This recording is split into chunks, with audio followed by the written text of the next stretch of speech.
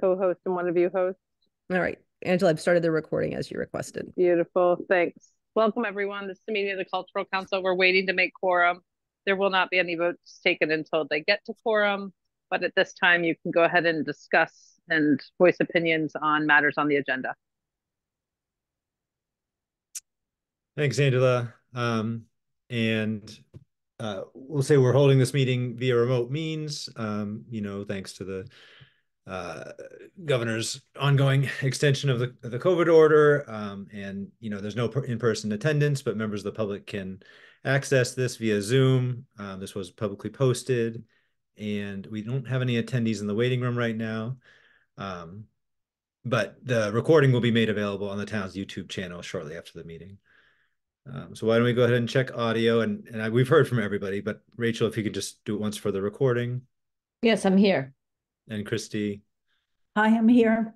And Julie. Hi, I'm here. and I'm here as well. Um, and we have Angela for the moment. Yes, our staff liaison, Angela. Um, okay, so let me just, I'll pull up the, the agenda that we posted. Um, if you just give me a moment.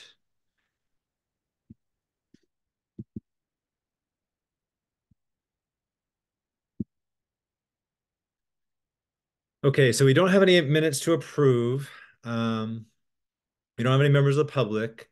So the next item is a membership update, um, which has just been a standing item for us because we do need to recruit and um, Angela, that, would be a question, I guess, for you is, is are we, um, are we able to pull together some interviews to try to replenish our membership? Absolutely. And you've had a few applicants. So now that I know that you're having trouble reaching quorum, then let's push this forward and try and get it done. I think yeah. because you had such high membership level, we were going to try and wait until that cycle that gets you ready for the next fiscal year. We were going to try and wait until, you know, the June cycle, but now that I'm here and I'm witnessing this, uh, let's let's try and fill that spot. Yeah, I'd I'd like you to email us a list of folks. There was someone in particular, you know, um, mm-hmm. that I thought was applying um, mm-hmm. the next fiscal year. Yeah, I think you've had a handful of new applicants since New Year's, so uh, I'm happy to pull that Thank list you. together tomorrow. Sure. Great. And as always, um, Christy, Rachel, and and I speak for my I speak to myself too. You know, we want to keep on um, thinking about who might be good prospective candidates for, for the council. Um, okay, so so grants update. So we have one, as I mentioned, we have one particular um, request that that merits some discussion. Um, but before we get into that one, I will just I want to kind of give kudos to Julianne on the public meeting for setting up the Adobe Acrobat um, uh, e-signature platform. Um, I just can't speak highly enough of how much paper paper and and headache this has saved. I mean, the amount of time that it takes for grantees to print things, sign them, bring them to the Jones, put them in the mailbox. Angela has to collect them from town hall. We have to get them from the library all that entire process was hours upon hours of just very very rote work and um, julianne has we worked closely with holly in the treasurer's office and but julianne's done all the all the heavy lifting of setting up the technology so it's now um, it's not entirely digital. Of course folks have the option to print it and sign it if they'd rather but there's no reason to. It's entirely digital. They um, do not have that option. so, we took that away. It's a digital application process via the mcc and we've moved to an all digital process. And okay. we're not uh, everything is to be turned into us for the final grant report via email. Okay. And they agreed to it when they signed uh, all the digital paperwork so we're good. Okay. So it's an entirely uh, you heard it here first. It's an entirely digital process um, and it has really streamlined things quite a bit so I'll say that, and then Julian, I don't know, as the kind of acting treasurer, do you want to speak to the overall grants process? How many have we you know, I mean, are, have we seen everybody come in now? What, how many are, are left outstanding? Do you know? I I have not been able to prepare for this meeting. We're in a, a huge push at work, and I have been nonstop around the clock. So I'm I'm sorry. It is it is nearly, uh, nearly done. Um, just just about everybody in and accounted for. Um, it, it you know at most be a handful at this point. So the the there was also a prompting reminder um, system that was put in place with the the digital signing process, so that really helped. Okay.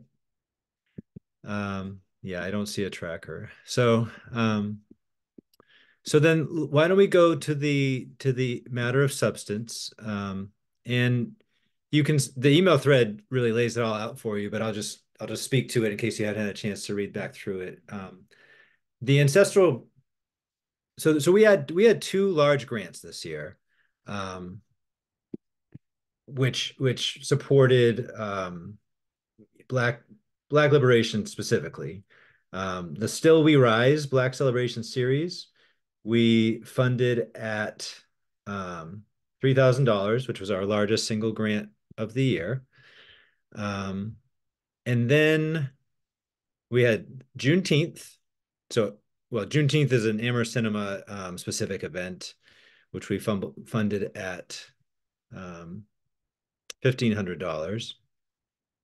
And then we we funded ancestral bridges, and you know if, if you're if you're sort of following anything in Amherst, you know that ancestral bridges has been uh, a real sort of national and international highlight for the town. Um, it's the work of Anika Lopes primarily, uh, looking at um, her mainly her family roots, but but um, the 54th Regiment, Black soldiers in the Civil War, um, and really just sort of the the incredible legacy of um, Black citizenship in in Amherst.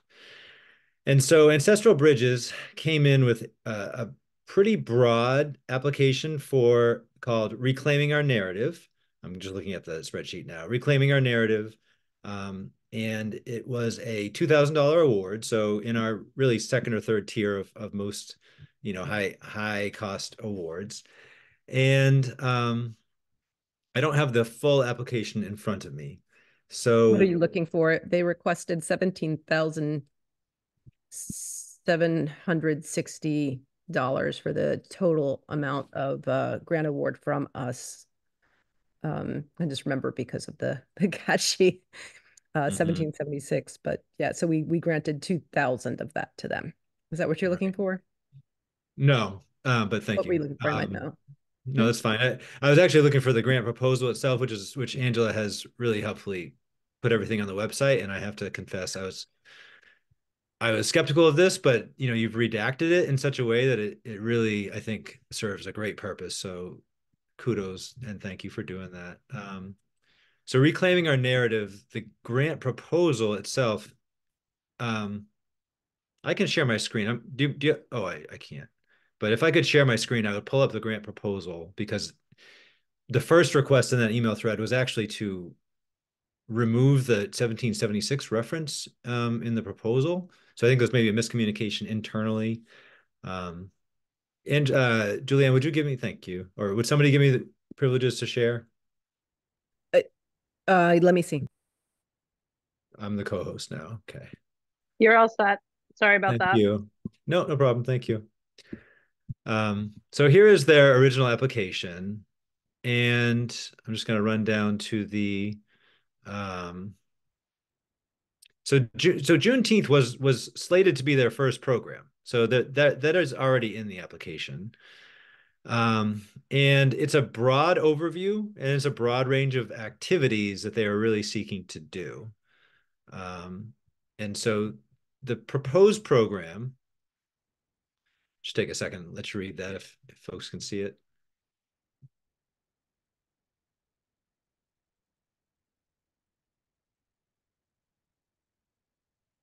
It's very ambitious I would say storytelling and narr- narrative mandate that they're trying to take on.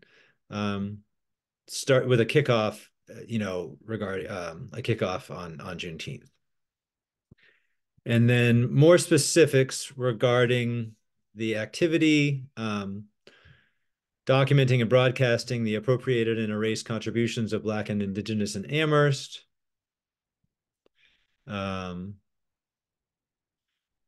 led by Anika Lopes uh, and her family. I, I'm just going to get down to the budget section here, if you don't mind. So we gave them two thousand, and you can see the accounting that gets to seventeen seventy-six, seventeen thousand seven hundred sixty. Um, stipends for storytellers, elders, and intergenerational stories, intern stipends and oversight, um, and then archival and and other technical costs. That's how they got to seventeen seven sixty. Um, a Juneteenth event that cost fifteen thousand dollars. Um,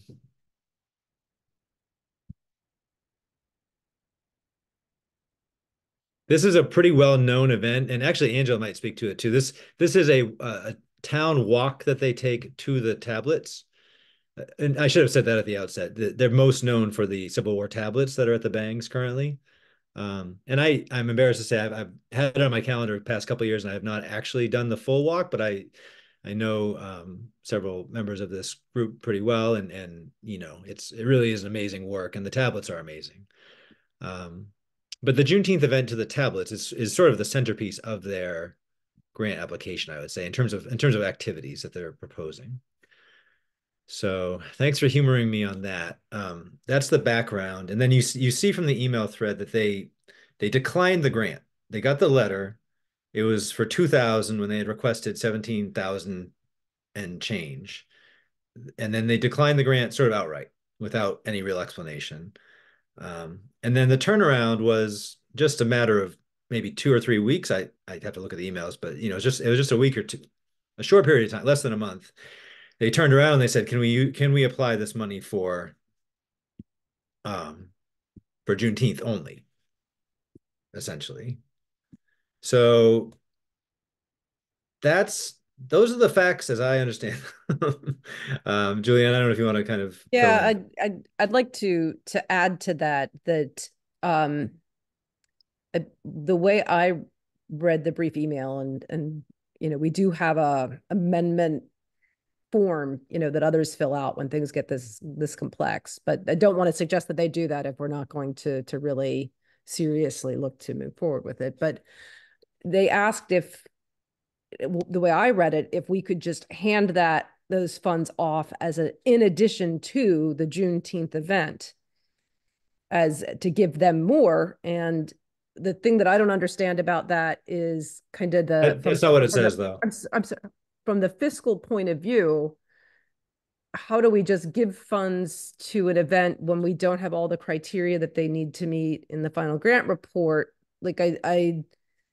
um it's kind of like saying oh well to be more specific like what if it was well just give it to Amherst Cinema instead like but, but julie it doesn't say that. So i, I want to pause you there because it does it doesn't say what what i think you're saying it says. Let me let me reread it but it it, it didn't sound to me like they were going to i, I don't know. I, I just i don't necessarily have enough info, information. It wasn't like there's a specific thing that we're going to do for juneteenth and we want to apply this $2000 to that specific thing for juneteenth. It was and, and very vague to me as to who was getting the funds. It sounded like it was to be given to someone else. It wasn't like, can we still receive these funds, but it, can you give them to June 19th? Uh, yeah, I, I, I, get think, the impression I, Christy wants to say something. Okay, yeah, let me just, I, having read the application through, I think they want to just do their Juneteenth part. That's that's what I think it says. But, but Christy, didn't they didn't they didn't they refuse the money? Wait a minute, did I? They, they they did. They they flat out said thanks, but no thanks. And then the exact words I'm reading in the the email was, "Could you please reallocate the two thousand to others and take our proposal off the website?" That was one part. And then they came back and said, um, if you if you might allow us to use the grant you approved for Juneteenth programs, including the gospel choir and storytelling. For for the the July 4th. Yeah. But they already refused the money. It's like I don't know. It just seems like it, it uh, it just seems very confusing. It seems like it's a different project. It seems like, you know, this is sort of at the last minute. And I don't know. It just, I mean, um, administratively, I would be like, no, no, no, no, no, this is terrible precedent. Because then you have people coming back, wait, wait, wait, wait, I've got another, you know, it's like you got to stop it at some point and say, you made a proposal, we offered you this, you said no, great. If you want it next year, apply again. Like, is there some is there some reason that we have to do this this year? You know, like the money has to go this year. So, Christy, I, I, I just want to speak to this for a second. So, so having looked at the grant application more closely just now. Wait a minute, which grant application? The one that I screen shared with you a minute ago. Yeah, but sorry, just is that the original? That was the original yes. grant application. Okay. Yep. Yep. But so they said having looked, they said having we don't looked want at the the, money. having looked at the original grant application just now, which was a seventeen thousand dollar request, and right. having read it again more carefully, you know, with this context, the the ancestral bridges Juneteenth event, which is a which is a major undertaking, is clearly described in their original application, which we approved. Now, some somewhere along, I I, I don't disagree. The confu- this has been very confusing communication. Um, somewhere along the line, they said, you know what, that's not enough. We don't want it. That's not enough money. We don't want it. And okay. that was uh, we accepted that. We said that's fine we have not taken any administrative action with those funds we are going to you know the, the intent is certainly right. to do so and i and i don't disagree that you know a, a, decision is a decision and you know and, and that's how it should go that being said you know this is a we're, we are focused on public benefit and not so much on you know that that's our focus. Um, and when i look at this what i connect what i connected reading it through now together is you know, here is here is Ancestral Bridges having taken a second look at their grant application and the funding that we've given them, or we we had given them approved, and then and then said, well, you know, they're not giving us the amount to run our full $17,000 programming, but we shouldn't say no to this amount that's going to let us fund our Juneteenth programming. So my my initial reaction, to be honest, is slightly different than than what y'all are talking about. My initial reaction was, we're already funding Juneteenth on the Common in a couple different ways. We have Amherst Cinema. Uh, we actually applied for and got a festivals and projects grant for the town's Juneteenth activity. But Ancestral Bridges is a nonprofit, standalone, separate from the town. You know, they are, but but they're, as I said, nationally, internationally, you know, very well respected. And they have their own Juneteenth activity, which is the, you know, which includes the walk to the the, the walk that ends at the um, tablets. So when I read this, you know, had they not said we're giving this money back on January 18th, we, I would have said, of course you can use it for the for your Juneteenth activity. Of course you can. That's that's literally in your original application. We gave you about seven percent of what you asked for, and so you can use that seven percent however you want. So to me, the issue is, do we give them a mulligan on this declination of the grant? And that's that's a big Dewey. That's a big F. It does. It does seem like um, what am I to say? Um, where's my brain? Um, it's it wouldn't have been as simple. Still, they still would have had to have done a, an amendment request to say we're not doing the whole thing, but we'd like to still keep the funds. Can we amend it to just do this one part? And and you well, can't. They they they are required to produce the event as described in the application. Yeah. And this is just a part of it. And it's a wonderful part of it. And it is something that if they'd come to us for just that, we probably would have supported it. But but at this point, they couldn't accept the grant funds and only do that one part. They would still, by our requirements, have to amend. Um, yeah, Christy. Okay, a couple things. Did let me just ask, get some more information. Did anyone else reject the funding? Has anyone Not else this year, but it, it's it's pretty common. It's pretty common. Okay, yeah, it it has happened. Yeah. Case, if that's the case that people reject the funding, then we must go to every one of those people and ask them would they like to re-amend would they like to amend their proposal? Because you can't be this is not something which is presented to our applicants. Like oh if you don't like it come back with a new idea and we'll we'll like give you the money for that. So like talk about equity diversity and inclusion you are privileging one group because we happen to like them and we think this is good and it's positive and it's outreach and they're nationally recognized. I mean, that is not what we are about. We're not the NEH. We're about equity across all the applications. I I think this is the this is the kind of thing that gets you front page above the fold on the Hampshire Gazette. This I, is about backhand dealing, making you know situations to work for people that you like. And yeah. that is just like that is not it's not professional, it's not it's probably not legal because the application there is a procedure for revising. And I mean, this is really the kind of thing that sends me writing a letter to the Hampshire Gazette. I mean, I have to say, guys, I find this just, if there was a reason why it had to be this year, like an emergency thing, you know, if we don't do it this year, it's not going to work. I could see if we had a big court, you know, but I just, Matt, I think this is like, this is the recipe for disaster for like a professional disaster. And I just, I will absolutely go on the record. I mean, this is, I feel like, the same thing we were up against with the school. This is okay. not about our personal opinion. This is about what are our procedures and following the procedures. And then, so there's nothing, I mean, these are our neighbors, but the point is, we are supposed to not deal with favorites. So and to I just speak to procedure, Christy, sorry to interrupt, but to speak to procedure, I I question that Angela set us down the path of not having a quorum and discussing because this is getting to being a lot like deliberation. And I didn't think it was appropriate for us to discuss the merits of something to this extent. You know, I I, I feel like this is an inappropriate public meeting that's being recorded and now exactly. that's out there. And I really exactly you know um this is. I didn't want to get really, into this conversation without even be, We should not be discussing this.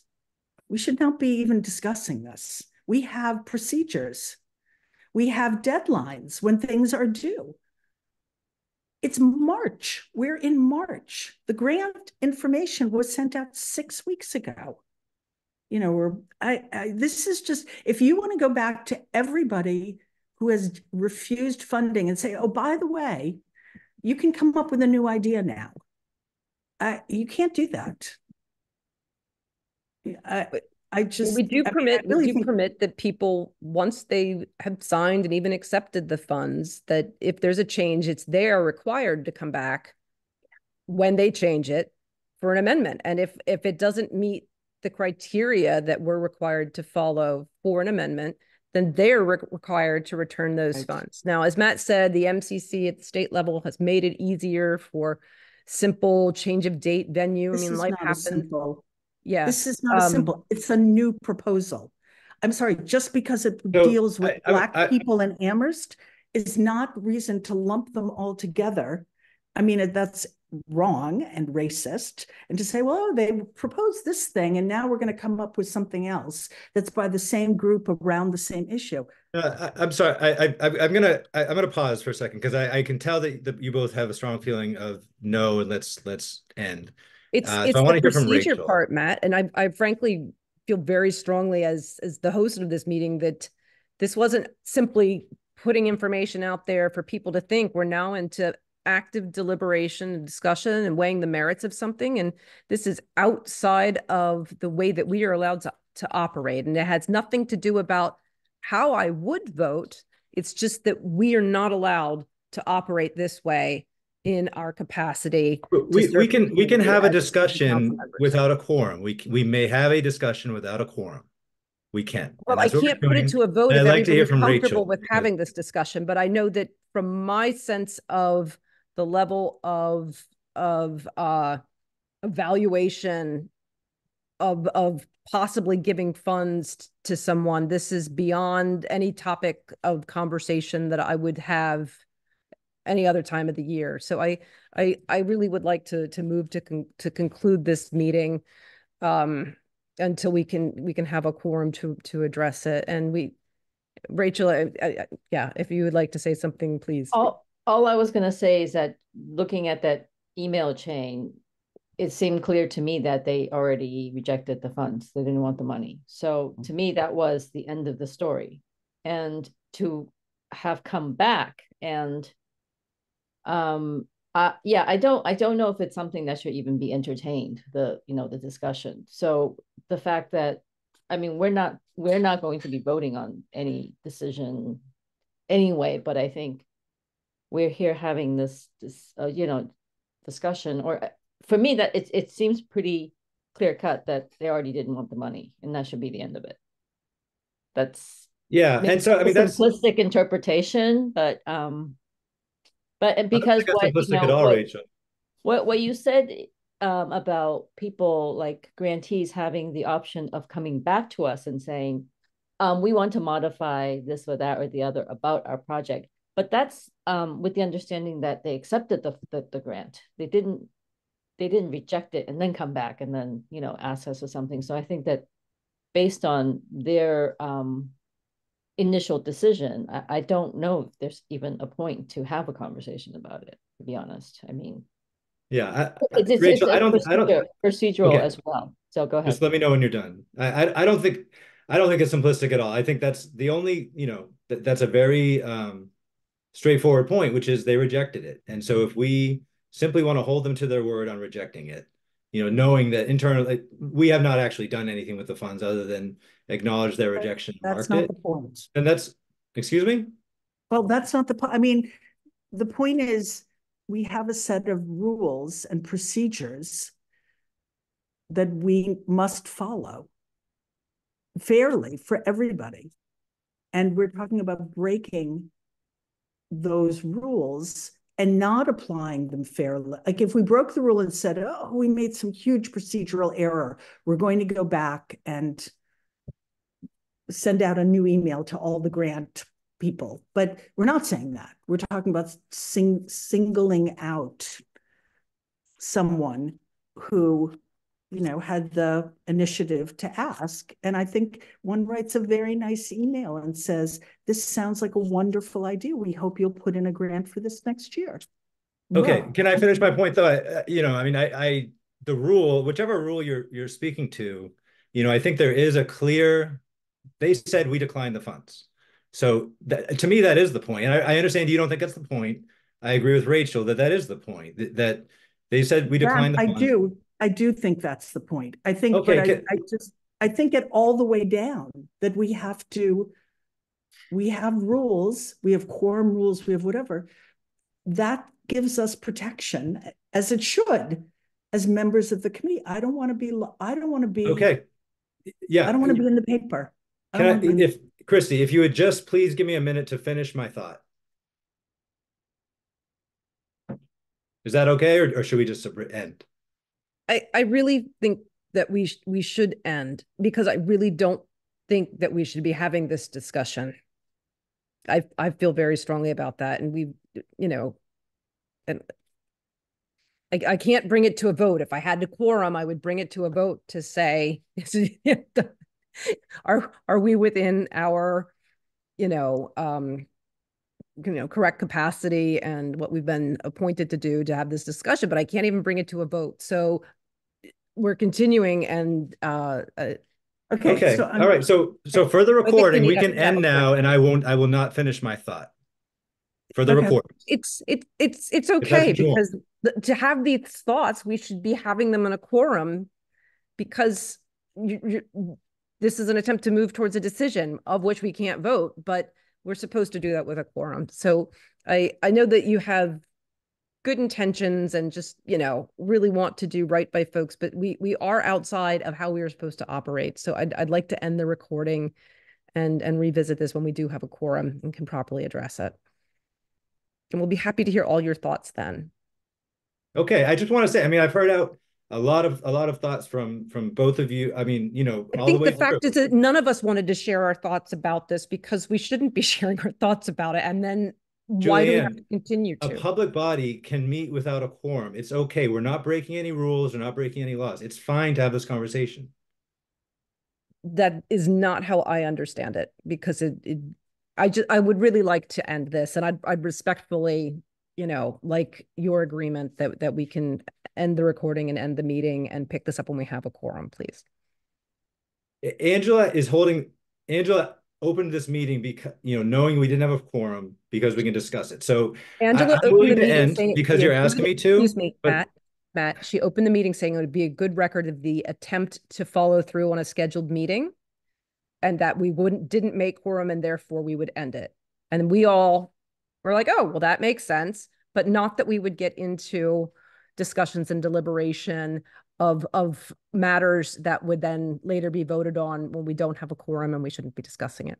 So uh, uh, I'd like Okay, to, it'll be good to get a clarification from her because we've, we've done this before where we've, we've had meetings without quorum and not had votes. So it'd be good to get a clarification for her on that front. I'm, I'm happy to end the discussion now. I can tell that folks, folks don't want to have this conversation right now. Uh, I wish you all a good night. thank you, Matt. Thank you, Christy. Enjoy Paris. Thank you, Rachel. Take care. Bye. Julie,